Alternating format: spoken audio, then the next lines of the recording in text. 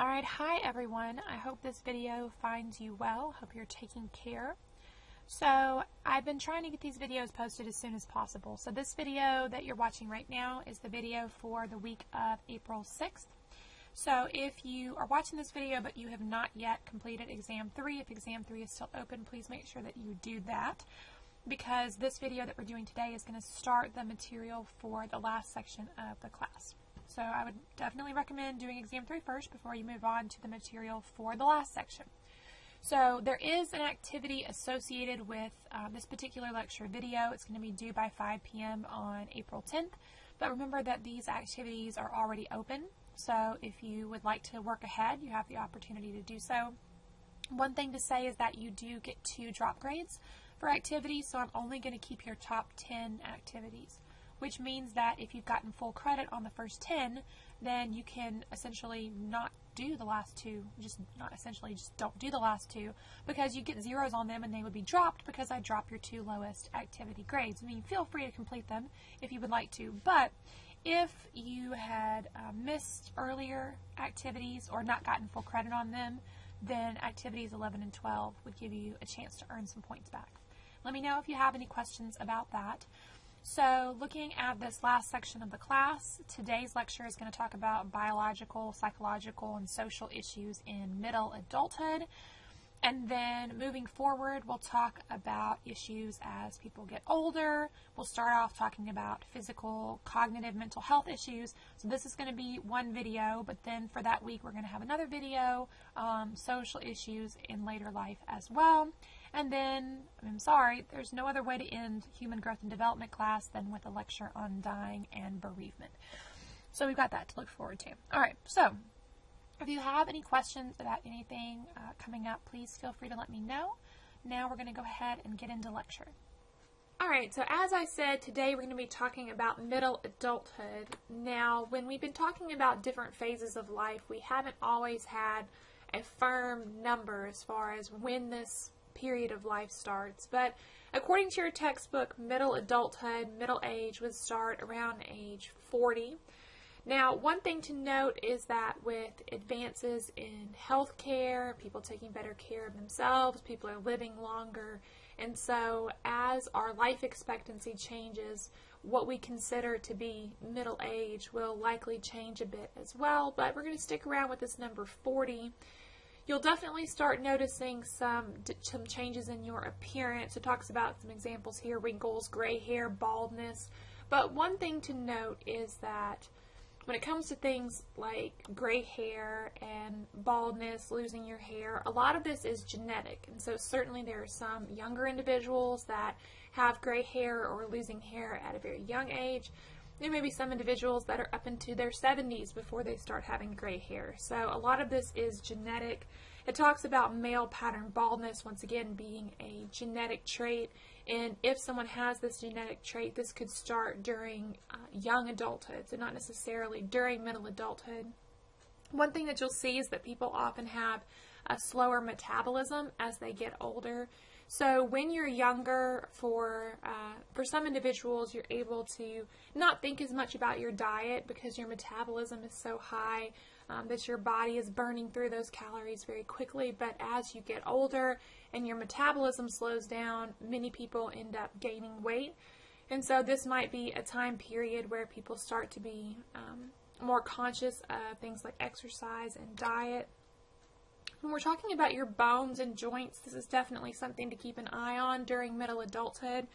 So, your peak in a lot of health related issues is probably around 20 or in your 20s. When it talks about skeletal maturity, your bone mass is at its peak around 19 and 20. Uh, and then you're going to see this declining a little bit as you get older. It talks about for women around the age of menopause, which we're going to be talking about menopause coming up. Uh, but there are some hormonal changes here that can cause bone mass to decrease, uh, as well as for men who obviously don't go through menopause, but later in life can have some decrease in bone mass as well. So it is important to make sure that you're getting calcium, whether you're getting that through your diet or through supplements, making sure that you are doing that. Um, osteoporosis is something that is um, very um, unfortunate and in a lot of cases can cause a lot of pain, a lot of injury. Uh, just referring to a disease where the bones become weakened and then injury is much more likely. We see that osteoporosis is more likely in women, and this could potentially be because of uh, hormonal issues, but then also possibly because of what women's bodies go through with uh, pregnancy and lactation uh, could also potentially be a drain on a woman's resources. So um, during pregnancy and lactation, or when I say lactation, I mean breastfeeding, um, that's a very important time to make sure that you're getting uh, your calcium supplements. So some other things that can be happening with bones, uh, arthritis. Now people use the term arthritis kind of generally speaking. There are multiple types of arthritis. So when you think about older individuals who are struggling from pain in their joints, uh, usually we're thinking about osteoarthritis here. So this is a degenerative disease. It's going to get worse over time because of overuse or injury. Uh, and it affects different people differently. Um, but usually with osteoarthritis, things like your hands are usually some of the first things that start to have pain. Uh, but it can also be in your back, so with your spine, hips, and knees. Um, typically, we do not see osteoarthritis impacting certain parts like wrist, elbows, shoulders, or ankles. Those are not usually involved with osteoarthritis. But you can imagine if your hands, your, your back, your hips, your knees are hurting, then it can be very difficult for you to exercise or to be active or to do most you know, everyday things. And so this is something that people often seek out treatment for. Um, there are medications that we can do here. Um, when it talks about exercise, exercise is great, but obviously can be painful. So non-stressful exercise. Sometimes people do things like exercising in a swimming pool, swimming, that kind of thing that uh, helps support your body while you're exercising. And your doctor may recommend some changes in your diet as well. But as I said, there are other types of arthritis. So osteoarthritis is usually that type of arthritis that comes with older age where a person has used their joints excessively. Rheumatoid arthritis is something that can happen in older individuals, but it's also possible for it to happen in younger individuals as well. So it talks about this being a slowly developing disease. Uh, basically, you have pain and swelling in your joints that can occur at any point in time, not necessarily related to injury or to overuse. So we don't at the moment have a cure for rheumatoid arthritis, um, which is unfortunate, especially when we see this happening in very young individuals. Um, there are some medications that we can give that can help with the symptoms, uh, but the individual may have to uh, deal with this as a lifelong problem. All right. What about some reproductive changes? I told you that we were going to be talking about menopause today. This entire lecture is about middle adulthood, so 40 plus. Um, one thing to mention about being 40 plus, it is possible for an individual to still um, mother or father children during this time. So, uh, briefly mentioning some differences with fertility here. Uh, men have more years of fertility. Men can continue to father children uh, much later in life, although as a man gets older, his fertility does decrease somewhat.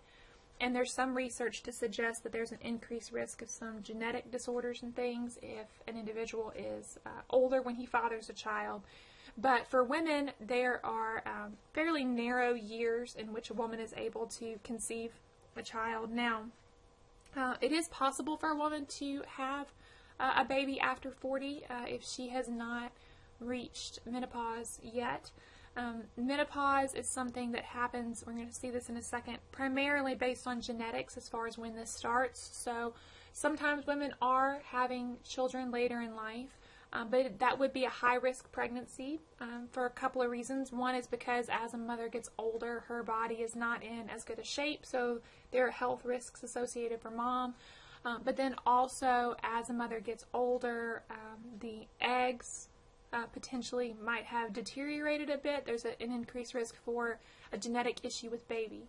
So someone might still be having children in middle adulthood, but there is an increased risk there, and a pregnancy during middle adulthood is probably going to be monitored um, much more closely than a pregnancy earlier in life. All right, so At some point, though, you're going to pass from reproductive to non reproductive years. So we're going to transition out of um, that fertile time period.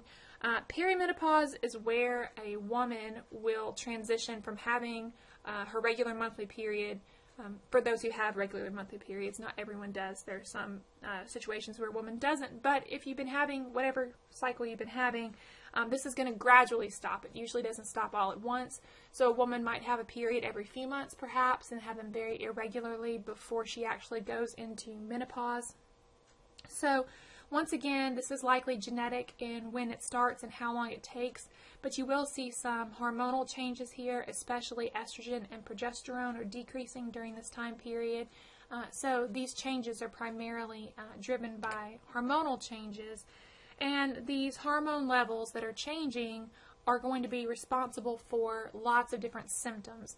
And so likely you've, you've heard of these, you've had women um, talk about having things like hot flashes. Usually, hot flashes is the thing you, you hear about most, but there are lots of symptoms that can be associated with menopause. Um, it talks about mood changes, headaches. You can see what's listed here. Uh, sleep issues can also become a problem. So you can imagine how stressful this would be for a woman to be having some maybe psychological changes, sleeping issues, uh, and also changes to her sex life. So it talks about low libido, which referring to interest in uh, sexual activity, uh, and sexual activity might be painful um, because of these changes in hormones. So you can see that there are a wide variety of issues that can come along with menopause. Now, uh, some of these could potentially be treated. Doctors might have medications, that's something to help a woman kind of balance her hormone levels. Um, but then some of this may just be something you have to kind of wait out uh, for menopause to pass.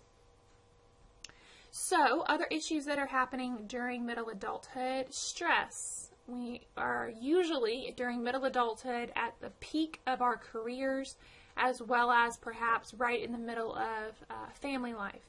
So if people are, most people are getting married in their late 20s uh, and maybe having kids a few years after, then when you're around the age of 40, you have some elementary school age kids on average. Uh, and then also probably at the peak of your career. So definitely stress is happening. Uh, it talks about being more stressed out when you feel like you have little control over your job so part of this could be control over your schedule and how much time you spend at work, but also when you're at work, do you have any kind of input into decisions that are being made, that kind of thing. So uh, work and family related matters are usually what's on an individual's mind during this time period. Uh, as individuals get older, they're more likely to say that it's health issues they're concerned about. That may be because as they get older, they're likely to be heading towards retirement, so career doesn't seem as big of a, an issue. Usually their kids are getting older and more independent, but then also health issues are more likely to be coming up during this age range. Now, one thing that you'll see when you ask men and women around this time, what is it that stresses you out? Um, they'll usually say daily hassles, you know, the day to day, trying to get through uh, kinds of things. But when you ask more, you'll see that women are more likely to mention family and health related issues, men are more likely to mention financial and work related issues. So, this is interesting, I think, because women are more likely than ever to be working outside of the home now. So, even though women are working outside of the home, they're still less likely to say that they are concerned about financial and work related issues. This could be because of um, kind of that gender norms where we expect men to be financial providers, perhaps. Um, we expect women to be more of the uh, nurturers at home, even though um, both partners may be contributing in both areas. Alright, so this is an interesting and somewhat ironic slide for me to ask my college students if they know what stress feels like. I'm sure you know what stress feels like, but let's have a good definition here. Basically, stress is made up of two components. It's made up of the event that is stressing you out, as well as your response to that event. So, two people can go through the exact same event and have different levels of stress because of their response to the event. If you feel like you have the resources to deal with the stressful situation, then it won't impact you as much. If you feel like you have the time, the energy, the finances, then although it may be an unfortunate situation, you'll be less stressed out by it. Having said that, though, sometimes we have something happen to us and we feel like we don't have the resources to be able to deal with it, and that's when we feel most stressed out. So, it's a fantastic time for you guys to start honing your stress coping skills. You need to learn how to handle stressful situations if you're thinking about moving on towards grad school or even career or whatever you're going to do after college. It is important for you to learn how to handle stress not just because stress is bad for your physical health, but it's also not great for your relationships as well. So, it talks about some different thoughts on coping here. Um, emotion versus problem focused coping. I think we've mentioned this previously when we are talking about how to handle unemployment, uh, but problem focused coping is usually most helpful. So, if there's a stressful situation, then you need to figure out how to deal with that stressful situation. I do want you to handle your emotions. That's fantastic.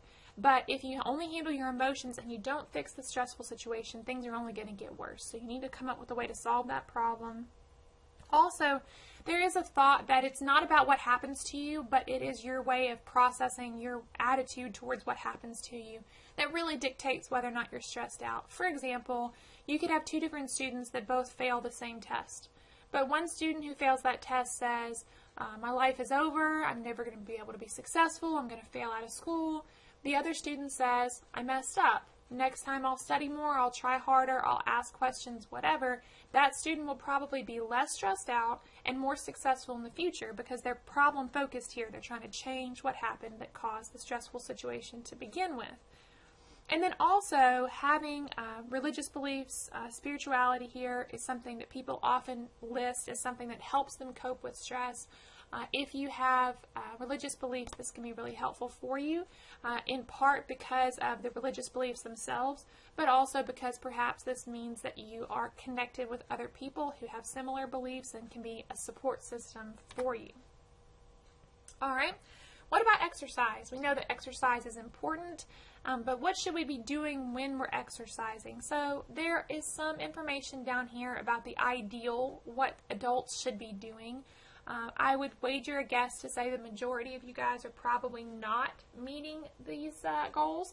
And also, I feel like it should be fair. I mean, I should be fair here and tell you I haven't been inside of a gym since 2008, I don't think. And I do chase around children, and I feel like that counts as exercise. But um, we should all probably do better uh, taking care of our physical health.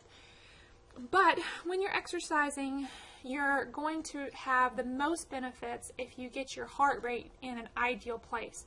So it talks about maintaining a pulse rate between 60 to 90% of your maximum heart rate. So you can Google this. There are formulas. I think your maximum heart rate is something like 220 minus your age. And it's important to take into account your age because um, older individuals may not be able to or may not be advised to exercise as strenuously as younger individuals would. Um, but then once you have 220 minus your age, that might tell you your maximum heart rate. And then you need to figure out 60 to 90% of that.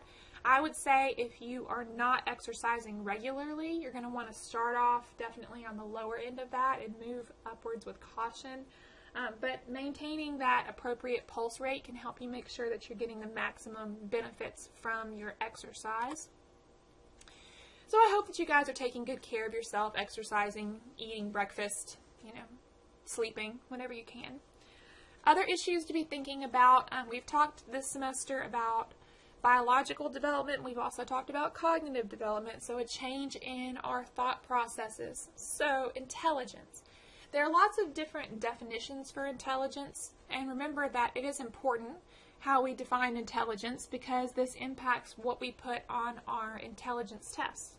Um, but when we're talking about intelligence, some individuals would conceptualize this as an ability to solve real world problems, which is a very practical view of intelligence. The idea that your intellectual skills are only useful to you if you can use them to adapt to your environment. Now, then the question is with our intelligence test, are we actually having people do something that tests for practical intelligence? Are they having to solve real world problems and adapt to their environment? Which is another conversation for another day. But practical intelligence is obviously very important during your day to day life. So, with practical intelligence, this is something that is going to be changing a little bit as you get older So it talks about practical intelligence depending on experience. Well, we know that for most of us, you get that experience as you get older. Sure, some individuals get experience at a younger age, and some individuals are older and still not able to solve problems. I understand that. But on average, as you get older, you have more experience, and that's an important part of your practical intelligence. It also talks about your preferred mode of thinking. So some people just in general enjoy thinking more. Um, there's a desire for um, cognitive effort. Some people relax by doing Sudoku and crossword puzzles, right? So there are different types of thinking, ways of thinking here. But it also talks about emotional response. So some people are high on emotional intelligence. They're able to understand their emotions and use their emotions as fuel to actually help them make better decisions and perform better. Um, but for the majority of us, when you're very emotional, it makes it harder to solve a problem and to think practically here. So when there is a problem, you can take a few different approaches. You can focus on the issue. You have to conceptualize the problem, think of different strategies, different potential solutions, weigh the pros and cons, try out that solution. If it doesn't work, go back to the drawing board, come up with another solution. Some individuals will say, okay, this problem needs to be solved, but I don't want to be the one to think of the solution. So when it talks about being passive or dependent here, this is basically the I don't know, you tell me what to do, expecting someone else to help them solve the problem. Um, certainly, some people are a little bit more indecisive than others, but this is definitely a problem, uh, especially if you don't have someone around to help you solve the issue. And then some people try to pretend there's not a problem at all. Obviously, that's not going to go well. And that's associated with anxiety. People who are anxious tend to be more avoidant of issues that make them anxious. All right. So I think that we've mentioned this before, the idea that there are different types of intelligence that as one of them is going up, the other one is going down. So when it talks about mechanics versus pragmatics, I mean, pragmatic is a practical. So when we're talking about pragmatic intelligence, you are collecting information. This is crystallized intelligence. So this is going up. This is increasing with age.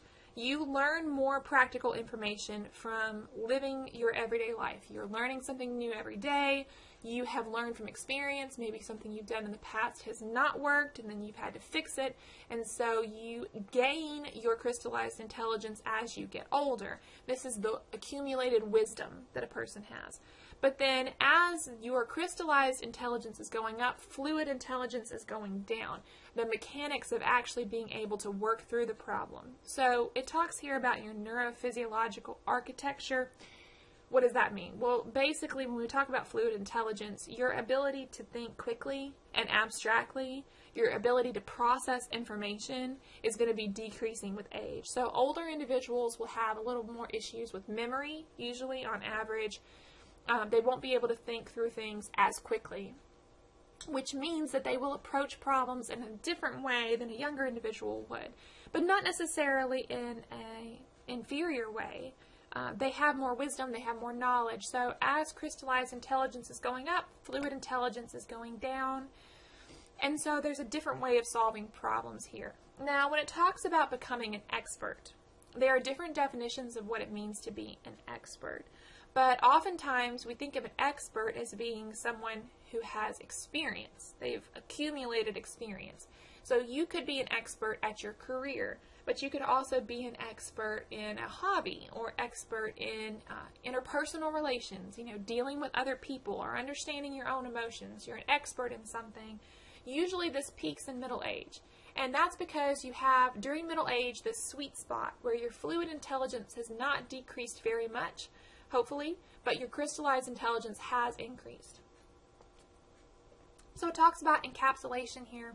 This is the process where you are able to do something better and better, and at the same time use less energy to do it.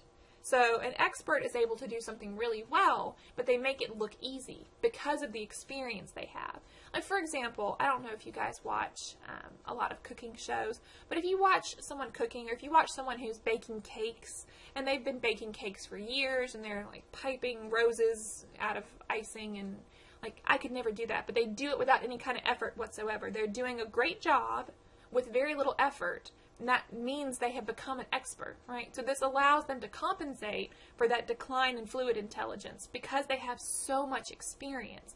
And as they are learning new information when they're younger, because this expertise probably started several years before middle age, they're accumulating all that information while their brain is developing. It's like you're specializing in something. And this results in implicit knowledge, which basically means it becomes easy. So, for example, when you first started driving a car, you probably had to try really hard. You had to pay attention to everything. Maybe you were easily distracted. Well, some of us are easily distracted now, but that's besides the point. But when you have been driving a car for years, you leave work and then you're home, and maybe you don't even remember the drive home because it was so automatic for you. I don't know if you've had that experience. It's a little bit scary, but the point is, it's become implicit. You don't even have to think about it. So you have become an expert driver, perhaps, um, because it's implicit, it's easy for you. All right? So, when we're talking about intelligence and crystallized in, a crystallized intelligence increasing as you get older, this means that we're continuing to accumulate knowledge. We're continuing to learn throughout the lifespan, and this is huge. We often think about um, childhood and adolescence and then maybe early adulthood. We think when we graduate from college, we're done learning. No, not at all. I have learned so much since I graduated college, and part of that is from homeschooling my kids, and part of that is from teaching you guys, and part of that is just from being curious, just reading articles and, and making sure that I'm still learning every day. But to maintain your job, you may have to do some continued education. Even if you're not required to do this, I still encourage you to continue to learn throughout your life. It's really good for your brain. Now, sometimes older individuals uh, will take classes that they don't have to take just because they're interested, or maybe they do need to take them to try to learn some new skills for the workplace. Uh, one thing that you'll see about older individuals, they're more likely to want to be able to apply information. So, not necessarily wanting the abstract philosophical discussion, but hey, what can I do with this information? Obviously, they have experience that they bring with them to the classroom and tend to be more intrinsically than extrinsically motivated, not just there to get a grade, but there because they genuinely want to learn. Uh, over the course of my teaching, I have had several uh, non traditional students, older individuals in my classrooms, and it's always been really interesting. It's been a really good experience, especially in an in person class uh, where we can have discussion to hear from different viewpoints. I really enjoy that when I'm teaching. All right, if we're going to be talking about your development, then we obviously need to talk about your personality because personality is something that develops over time. Uh, personality is one of those things where we understand what it means, but it's very difficult to define. We think of a personality as something that makes us who we are, something that is relatively unique and relatively consistent over time, even though our personality can adapt, which we'll talk about in a second. There have been lots of different attempts to define personality, but um, the five factor model is one that you hear about a lot because there's a lot of research to support it. This is the idea that there are five major components to your personality, and then you're either high or low on each of these. And so that all combined together will define your personality. So essentially, we're boiling down this very complex concept of personality to five major traits and there may be some minor traits here, but they would really go underneath one of these, kind of a sub trait. So essentially, we're summing up with five factors here. So I like putting them in this order so you can maybe remember them because of the acronym OCEAN.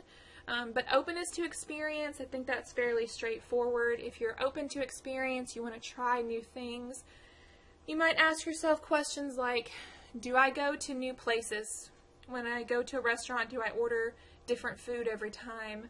Uh, am I a spontaneous person? I would definitely say that I am low on openness to experience. I like to have a plan. I like to stick with the plan. I always order the same thing. All right, uh, conscientiousness refers to a person being responsible, essentially dependable. So with conscientiousness, this is a person that is making sure that they're taking care of their responsibilities, they're planning ahead, they are paying their bills on time, they're doing their work. Um, so I would say I'm relatively high on conscientiousness. Um, extroversion is one that people misunderstand a lot.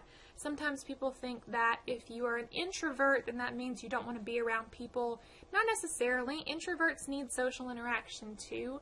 I think one of the best ways to describe this is that an extrovert is someone who is able to best relax and be themselves when they are around other people.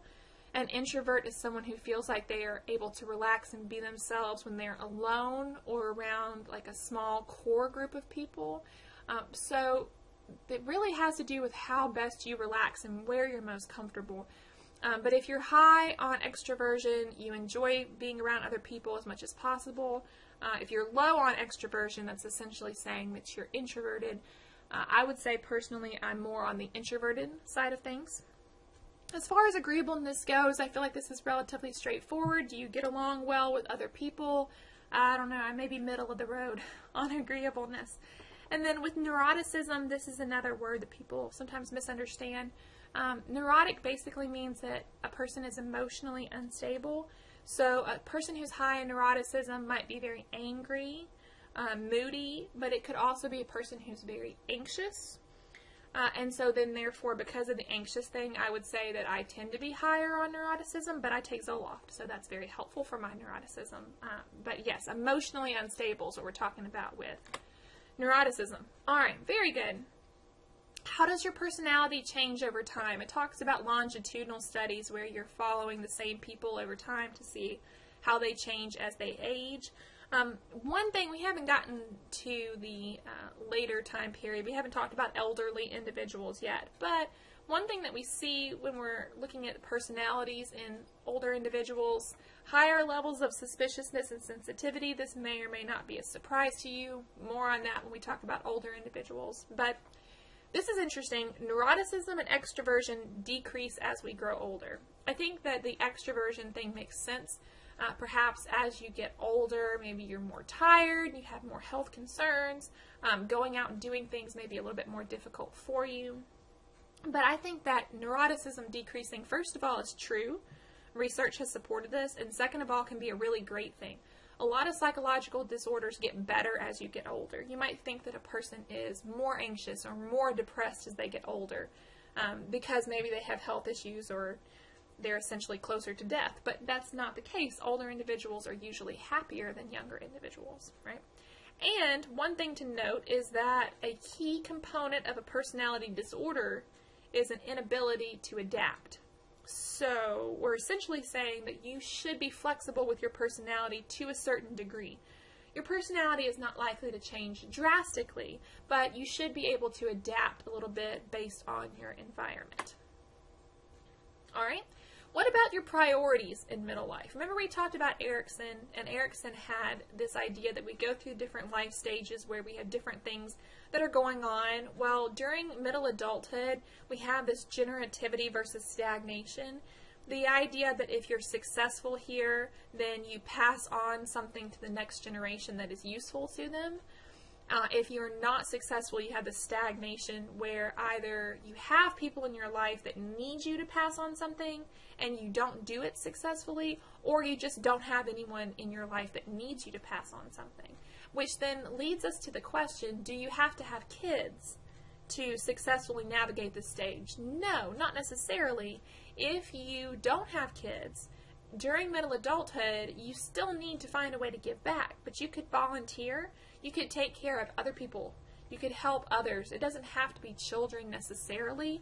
You might have um, some people that you're close to through uh, church services or people in your neighborhood, people that you help out with, uh, or some kind of volunteering. So you can definitely do this even if you don't have your own children. But uh, stagnation is something that people often look back on as they end their life uh, as they get closer to the end of life and say, I wish I had spent more time pouring into others, making a difference, uh, leaving something, a legacy essentially. So, when I talk about middle adulthood, perhaps the first thing that came to your mind was a midlife crisis. Well, midlife crisis is not a universal experience. Not everyone experiences a midlife crisis, although some people, as you'll see on the slide, uh, have a midlife correction so during this middle period of your life, you have enough wisdom, perhaps, to see where you should make changes, and you still have enough energy left and time left to make those changes. So, this is a good idea to reevaluate uh, your priorities as you get older. When it talks about ego resilience here, basically, are you able to cope with the stress that people are feeling during middle adulthood? And being able to be resilient here and cope with stress makes it much more likely that you're able to take care of other people and to pass on a legacy to another generation. You have to be able to take care of yourself before you can take care of other people. But this is a stressful time period. Why is middle adulthood stressful? Well, we already mentioned this can be a peak of career time, but this can also be a very busy time in your personal life. Um, and you're going to see coming up taking care of your kids, but not just your kids, but then also aging family members as well. So a lot of stressful things happening during this time span. This is where you see the sandwich generation, the idea that you might still have children that need your care and at the same time have maybe parents or other aging family members, um, maybe even perhaps grandparents or aunts and uncles, other people that might need your help. So who is going to be taking care of the kids? Who's going to be taking care of family members? Who keeps the family together? Well, stereotypically, we think about mothers when we ask men and women about their priorities, women are more likely to say that one on one relationships are more important to them. And perhaps that's part of the reason why women tend to be the kin keeper here, the person who makes sure that the family gets together and stays in touch. Um, perhaps this is the social norm that we expect this of women and we don't expect this of men. Um, certainly, this could be a male family member. This could be father, grandfather, or whatever, but typically it is a mother who is doing this. And as you get older, you have changes in your relationships with your children if you have children. Now, part of this depends on when you had kids. And I had kids very young, and there are good things as well as bad things about that. But one advantage, I think, or I'm hoping, to that is that by the time my kids are old enough to be independent, maybe I'll still be young enough to enjoy it a little bit. Um, but when we're talking here about an empty nest, some people may not have an empty nest during uh, middle adulthood. I mean, my mother was 39 when she gave birth to me. So obviously, she did not have an empty nest at 40. Um, so different people have different experiences here. But as children start to leave the home, that can lead to a change in their relationship. So, on the one hand, children might see their parents in a more positive light. Uh, sometimes when you live with your parents and they are always there and maybe always telling you what to do, it makes it harder on a relationship. But when you leave, sometimes you can look back and say, there was some wisdom there, or I miss my parents. I wish someone would come and do my laundry. So maybe as you get older, you see your parents in a more positive light. But one thing you can also see is that women might be very depressed by the, the idea of children moving uh, moving outside of the home. Women often see motherhood as being a major component of their their role, their personality, who they are. So this can be a really stressful time period for them, but maybe they don't need to worry because maybe the kids will come back. So boomerang kids. Um, this is becoming more and more common that young adults are moving back home. Uh, perhaps this is because of the financial costs of uh, becoming independent, of paying for school, student loans, that kind of thing. So kids might move out, go to college, and then when they graduate, they might move back in. And maybe this is just until they get on their feet financially or until they get married, that kind of thing, which is different from culture to culture. But one thing that we do see is that when children move back home, it may be because they've struggled to develop their own independence here, maybe having school problems, having financial problems, just not having a lot of uh, independence or not knowing how to handle independence can lead kids to moving back home. Makes me think about that failure to launch movie, right? I don't know. It's been a while, but it was semi entertaining anyway.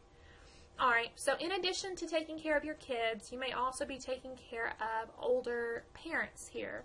Um, this is something that can create a lot of stress on a family, um, trying to navigate what are we going to do as parents get older. So we definitely see the daughters or daughters-in-law are more likely to be providing care. So this is saying that a woman may be taking care of her parents as well as her husband's parents. Um, which can obviously be very stressful, in addition to being expected to uh, take on more child care as well.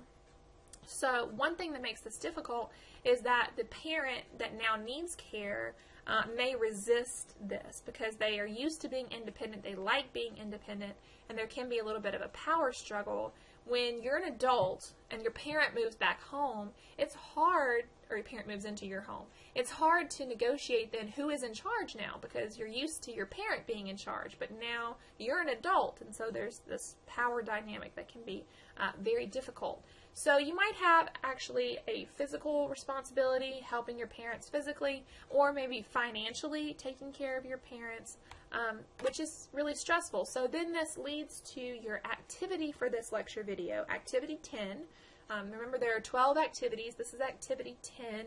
What are your thoughts on children caring for their elderly parents? So this is something that we don't see as much in our culture. In our culture, individualistic culture, we're more likely to say that an older individual goes to like a retirement home, that kind of thing. But what are your thoughts on maybe having the parent move in with you and your family as they get older? What could be some good things and what could be some bad things about that? So you may or may not have personal experience.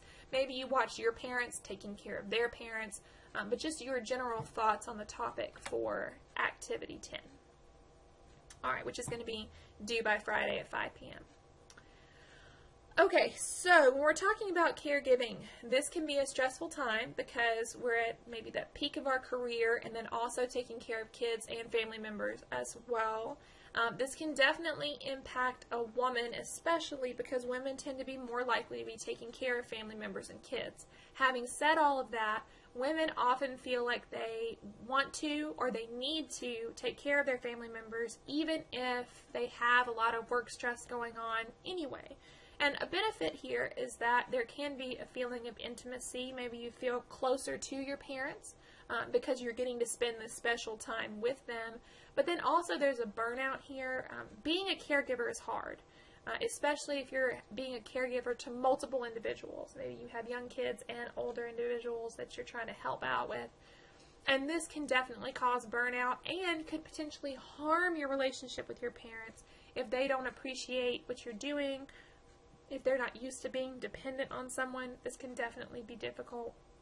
As you can imagine, this can also impact your work. So if a woman has to take a lot of time off of work to try to help out with family members, um, then that could cause her to lose her job or to not be considered for promotions, that kind of thing. So then one of the last things to be thinking about um, when we're talking about having older individuals move in with you and maybe with your children, you think about grandparenting. So there are a couple of different ways to think about this. On the one hand, grandparents have wisdom that they've developed throughout the years and may be able to pass on things like family history. So there may be information about other relatives that you don't know or that you just haven't thought of to share with your kids. And so grandparents could pass on that information um, that later in life they may wish that they knew. On the other hand, it may also be helpful for grandparents to spend time around grandchildren if they help them learn new skills uh, and help them perhaps, especially with technology, which is stereotypical, right? Who hasn't helped their grandparents set up their you know, remote or computer or phone or whatever the case may be. So there's definitely some benefits to spending time around your grandkids as well. A lot of individuals say that grandparenting is very important for them. Maybe they view this as a chance for them to correct mistakes that they made the first time around as a parent. Um, and one thing that we see here, it talks about providing wisdom and indulging. This can be the case. Sometimes grandparents struggle uh, with following the parents' guidelines about appropriate you know, rules and structure in life, and that can be something to keep in mind. Um, but sometimes also it does lead an individual to kind of reminisce about their childhood and relationships that they have with their grandparents, and may view this as a very uh, special time for them. Uh, but one thing to be keeping in mind here is that there are differences from culture to culture as far as grandparenting is concerned. I think in the South, we tend to have an idea of grandparents being more involved, perhaps, um, but this varies from place to place. Uh, some individuals uh, feel like they are a fill in for adults, especially if they don't have the parent there anymore, which we're going to talk about grandparenting in a second, as far as the grandparent being the parent. Um, but definitely can feel like they need to step in um, and take up responsibility here. And then in some situations, um, the grandparent is responsible for passing on the culture. It talks about Native Americans being an example here, where an older individual passes on the wisdom, the tribal customs, uh, which would be a grandparent, but could also be another uh, older individual in the community keeping that in mind, a couple of different things. For one thing, people are more mobile these days and more likely to move. Therefore, some grandparents may live farther away from their children and their grandchildren, but then also um, sometimes grandparents are the primary caregiver, which might happen because the parents pass away or because for some reason they're not capable of taking care of the kids. Um, this can be stressful because older individuals may have less income, um, may have less energy, may be dealing with their own health problems. And so, one thing that we see is that children who are being raised by their grandparents tend to have more difficulties on average. Of course, this varies from situation to situation, but we can see uh, grandparents might struggle a little bit more with things like discipline uh, and maybe helping kids with schoolwork, that kind of thing. And so we do see some negative associations with this on average, but of course, this doesn't necessarily define every single situation. All right, so lots of information about middle adulthood. Remember that you do have Activity 10. Let me know if you have any questions about that. Otherwise, I will talk to you guys during your next, next lecture video. Have a great day.